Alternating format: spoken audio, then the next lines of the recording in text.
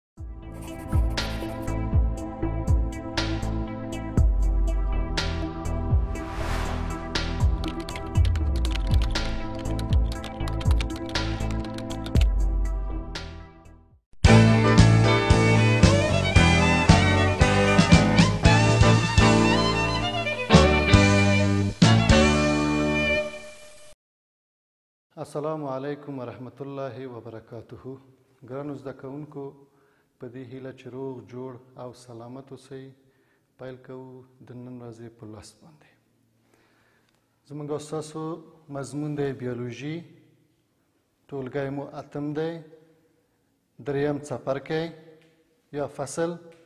نهه ویشتمه صفحه دی او عنوان مو دی زړې لرونکي نباتات چې زه عبدالصمد مسلم به یې تاسې ته وړاندې کوم مخکې له دې نه چې نوي لوست باندې پیل وکړو غواړو چې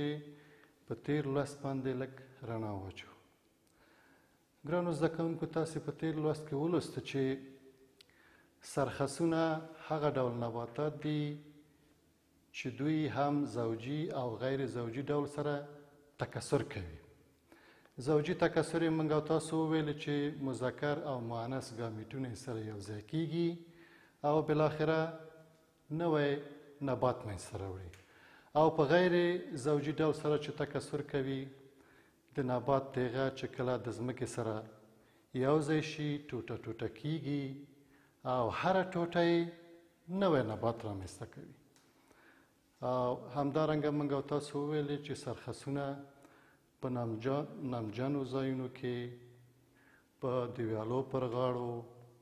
په ځنګلونو او په دې ځایونو کې پیدا کیږي او اقتصادي اهمیت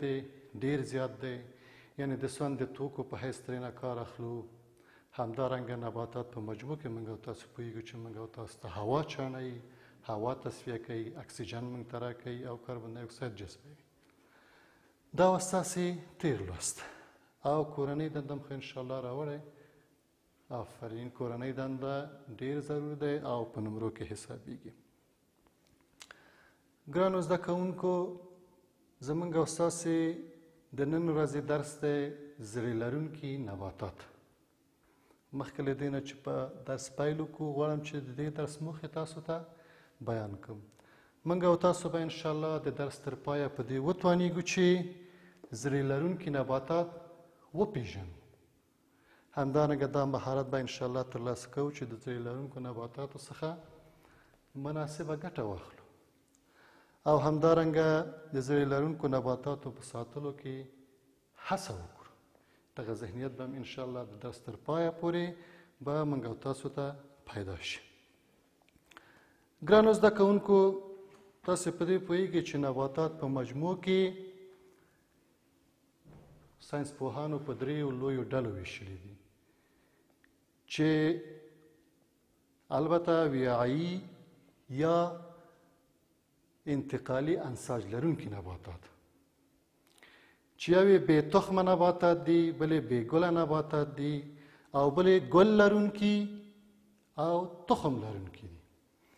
چې زړې لرونکي د کومو د جملو څخه دی زړې لرونکي نباتات ګل لرونکي او تخم لرونکي ګل لرونکي او تخم یا زړې لرونکي یعنی دا نباتات هم ګل کوي او هم تخم لري تخمې څه دنده لري تخمې دانه تولیدوي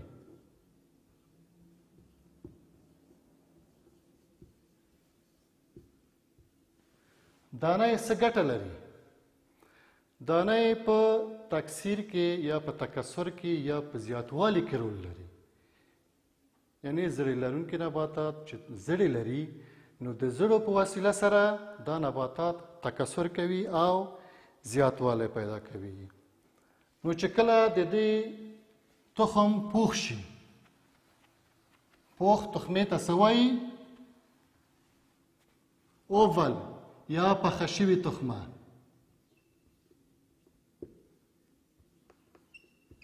پخه شوي تخمې ته اوول وایي ګرانو عزیزانو تاسو پوهیږئ چې د دانې په منځ کې جنین موجود دی د نباتاتو د دانو په منځ کې جنین یا امبرو موجود دی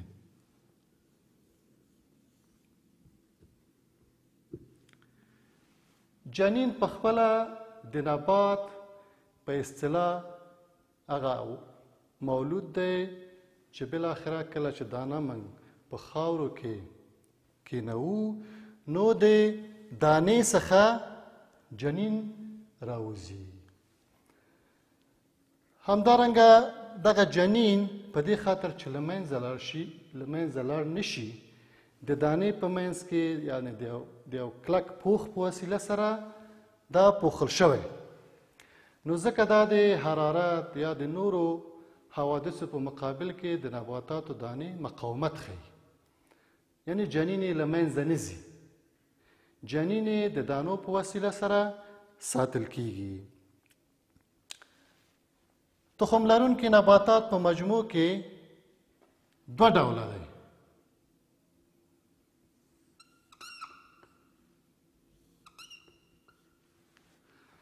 زړه لرونکي نباتات دوه ډوله دی چې یو ته جیمنوسپرم وایي او بل ته انجیوسپرم جیمنوسپرم یا ښکاره زړه لرونکي ښکاره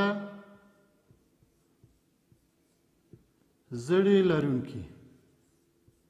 او انجوسپرمې پټ زړې لرونکي یا بل نوم دی مخفی البزر او ښکاره زړې لرونکي یا ظاهر البزر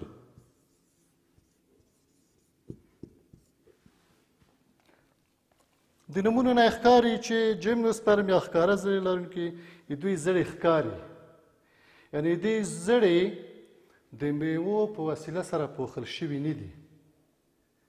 بلکې مخروط ډوله جنسي غړي لري چې د فلسونو د پاسه یې زړې ښکاري لکه د صبر، ناجو او د جلغوزو ونې. همدارنګه انجوسپرم یا پټ زړه لرونکي یا مخفي البذر دا هغه نباتات دي چې د دوی زړي د پوخ په وسیله سره همدارنګه د میوو په وسیله سره پټ شوی یعنی نخکاری منګو تاسو نو راځو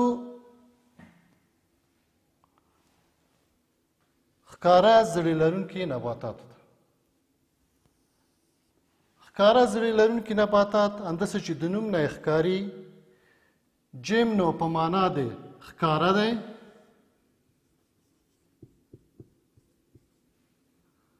او سپرم په نباتاتو کې هغه تخم دی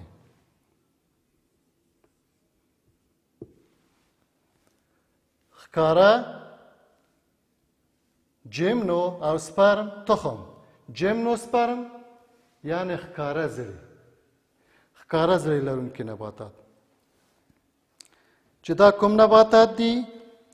دا هغه نباتات دي چې د دوی زړی یا تخم د میوو په وسیله سره پوخل شوي دي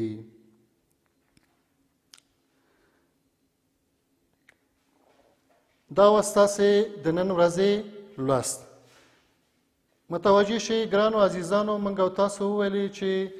زړی لرونکي یا تخم لرونکي نباتات هغه نباتات دي چې دا نباتات تخم لري او علاوه د دینه چې تخم لري ګل هم لري دا هغه نباتات دي چې هم تخم لري او هم ګل لري همدارنګه تخمې یا پخه شوې تخمې یا د اوول په منځ کې جنین موجود دی یا امبریو جنین د پوخ په وسیله سره پوخل شوی او دغه پوخې څه وظیفه لري دا وظیفه لري چې جنین له منځه لاړ نشي او د نبات جنین د حوادثو او د نورو غیر مترقبه حالاتو په مقابل کې مقاومت وښیي او موږ تر کلونو کلونو د نباتاتو تخم د همدې پخه شوي تخمې په وسیله سره یا د دانو یا د زړې په وسیله سره ساتو خو چې کله وغواړو چې وکرو نو په ځمکه کې خخو چې بیا ورته نم ورسیږي نو د نم د رسېدو په حالت کې بیا نو جنین تیغه وهي او وده کوي همداراز موږ او تاسو وویل چې په مجموع کې یا زړې تخم لرونکي نباتات په دوه ډوله دی چې انجیوسپرم دی او جمنوسپرم جمنوسپرم یې ښکاره زړې لرونکي دي چې جمنو په معنا د ښکاره او سپرم په معنا د تخم جمنو سپرم یعنی ښکاره زری لرونکي نباتات یا ظاهر البذر نباتات بل نوم ظاهر البذر دی ښکاره زری لرونکي نباتات جمنو سپرم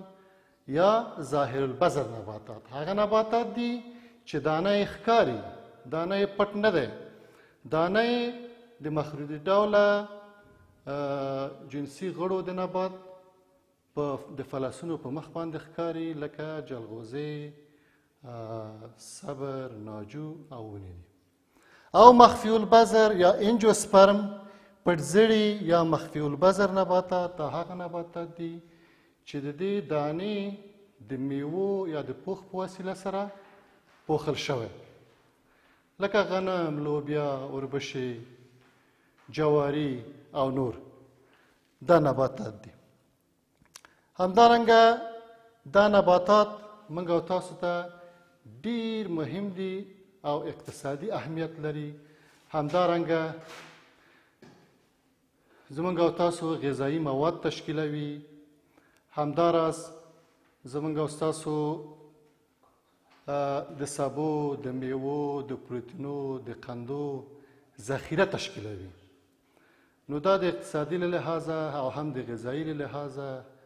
ډیر با اهمیته نباتات دي دا وساسې د نن ورځې لوست ګرانو شاګردانو تاسو نن څه ولوسته تاسو نن زړې لرونکي یا تخم لرونکي نباتات ولوسته دا نباتاتو ځانګړتیاوې څه دي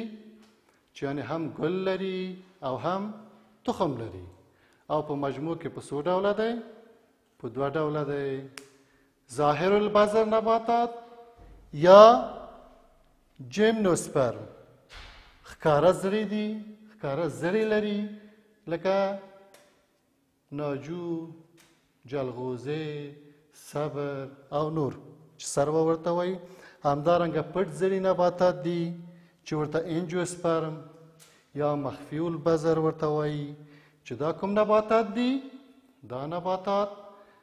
زړی د میوو په وسیله سره پوخل شوی دی چې موږ تاسو مثلا میوې دي مڼه دی زردالو دی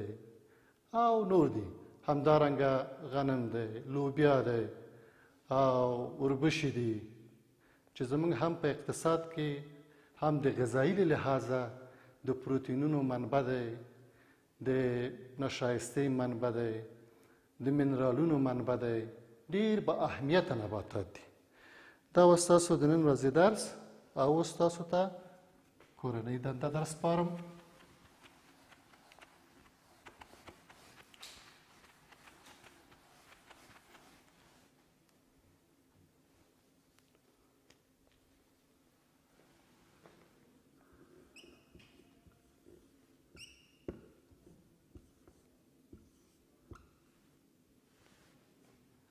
ګرانو زده کوونکو کورنۍ دنده به ضرور راوړئ ځکه چې دا په نمرو کې حسابېږي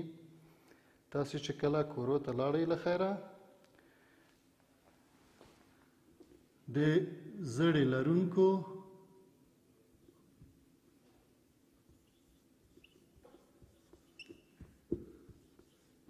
نباتاتو